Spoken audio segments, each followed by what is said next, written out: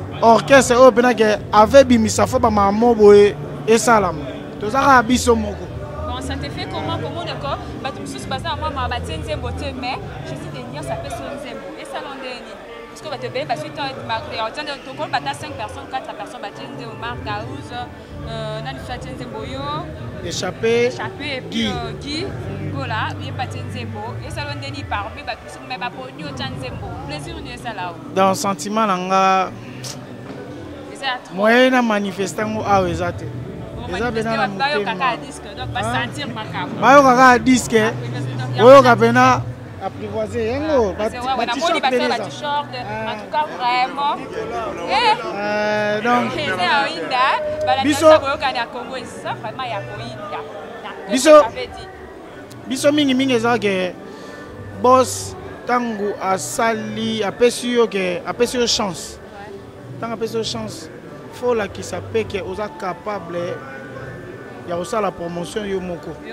eh, donc biso toza te ke oh, bapesi yo eloko faino na ndako oleka tv te osala soki ndeni te te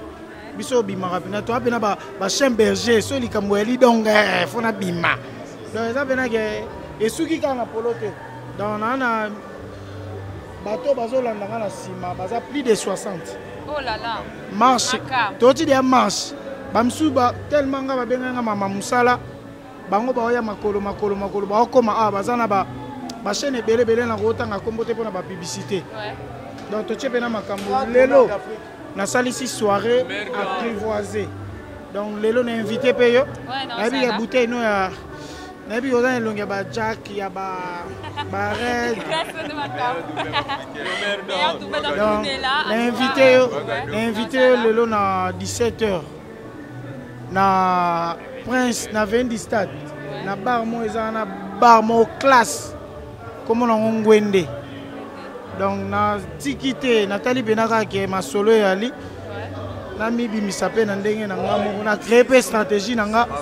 Esuki awa te, nayebi ke ba mamba bien ekoya, ekoya, ekoya. nakosenga kaka lisusu merci na jésus de niance toya mpe na bachanteur bakitariste baza wa oyo mpe bayembi mpe na badiske ye basali mpe babiloko wana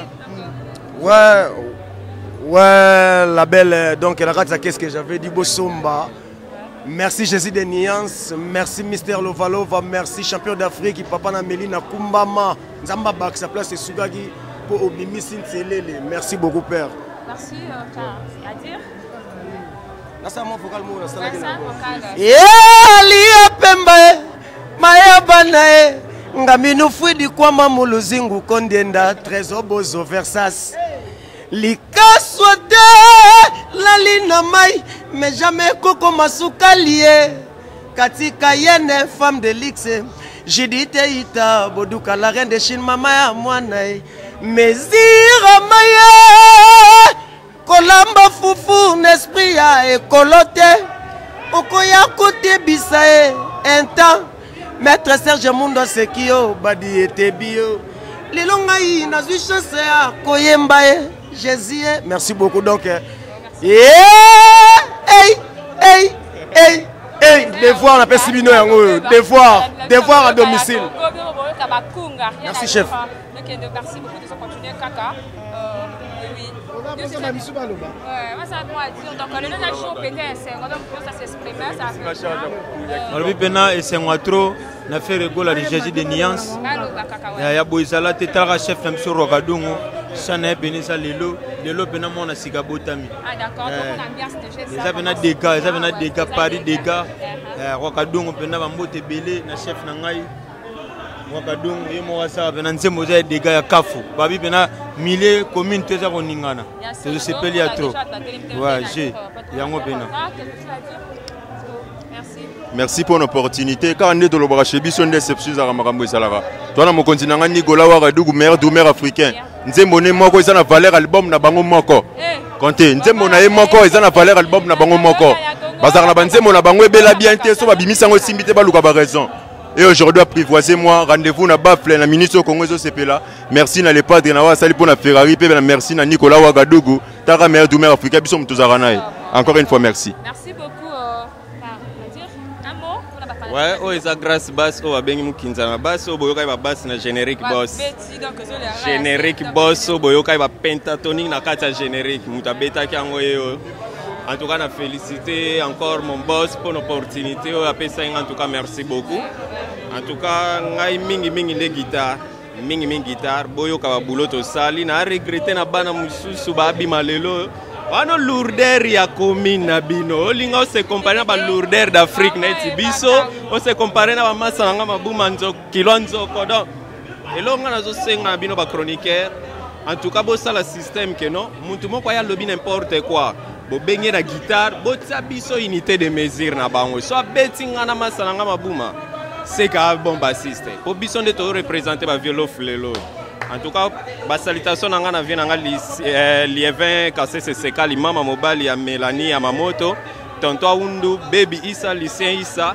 toka coup de chapeau lipasa nga mpo na lipasa aza, aza ndeko no mwasi nathalie bobila numéro de contact 00243 89 986 0235 boyoka bosavoure merci beaucoup amour allo ouais, ouais. mbote na bana nyonso na bafane tour baolanda biso na tv na minute oyo ça c'est ivia ferregola nde moto azolobela quoi donc leader oyo aza leader ya, ya makambo ebele donc leader oyo aza na makambo kati na ye yango moni ke biso bana nde toluka ke non toya pembeni na ye mpo tozwa ata mokie oyo ye aza nango oyo mokie oyo ya kopesa biso esala biso bien yango toye mpo tocelebre album na biso ya sika qu'est-ce que j'avais dit bozoyoka banzembo lokwa ya nicolas wagadugu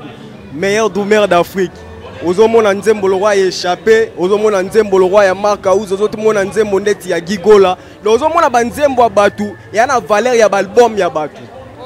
tala niveau banzembo ya bato eza na, eza na valeur ya baalbum ya bato omonake bato misusu oyo basali baalbum na bango na soni na soni na banzembo ya bamusicien na biso ezoleka valeur ya baalbum na bango mawa trop ça c'est ive ya ferregola baoyo baza na besoin oluka bacontacte numero na ngai eza 080 82 98 541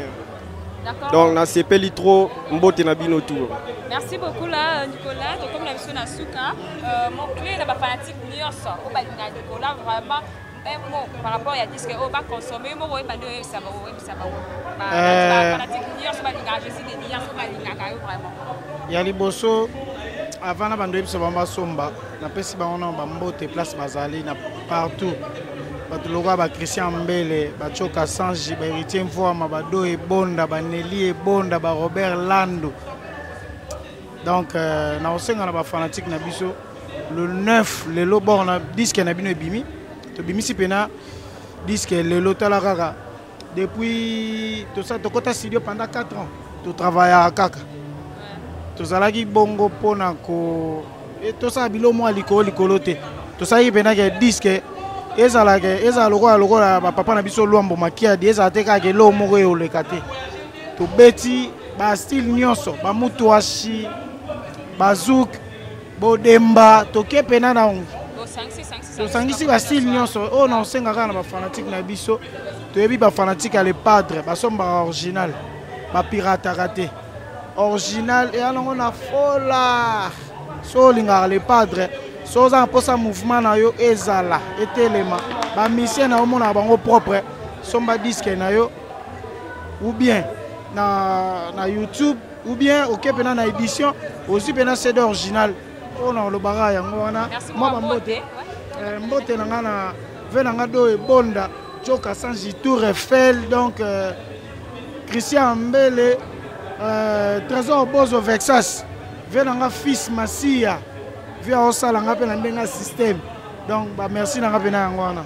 merci beaucoup euh, là tokomi na biso na suka vraiment ya émission ya lelo merci na bato na biso osi bolandaki merci ya eder vemba babi cerveau cerveau d'or cerveau d'or erder vemba erder vemba na kati ya suisse na bosani te figeon segueur bambote ebele edo flash bambote ebele pourquoi pas notre sponsor légal Santos du Jura, Babi les chefs d'entreprise, Boumela Pezala Simba Nzete, sans oublier Costa Kidjo, Mila Metiola, Obala Mbinga, ya copine nanga moko Rit Balance, ya ma copine na kata London, Costa Kidjo, mi musala esale makaka, nezala kaka, musala esale mandolinga ke musala boulot toujours, chez malobi ye boulot ko bebele mbanga pasi, eh, na bambote bepe na copine nanga le ballon d'or d'Afrique, Muriel Batoambi, pourquoi pas à toi, la mignonne la patrona hein, la patrona bambote be place ezolanda ngai euh, mon colonel Freddy Lumbwe Nadio Manu Mbokoli Manu Mbokoli na Canada bambote be place ezolanda ngai mon colonel Freddy Lumbwe Nadio euh, Robert Madia balobi bango nyonso donc staff mobimba ya appel